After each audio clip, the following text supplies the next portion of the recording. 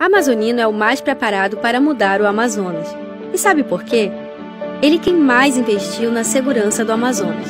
E nesses 12 meses de transformações, Amazonino convocou mais policiais, comprou novas viaturas, reduziu os homicídios e valorizou o policial.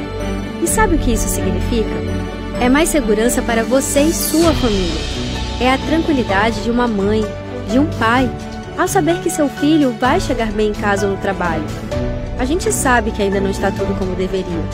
É preciso fazer mais. Mas o principal já começou a ser feito. Combate à criminalidade com inteligência. As mudanças já estão sendo feitas e os resultados estão aparecendo.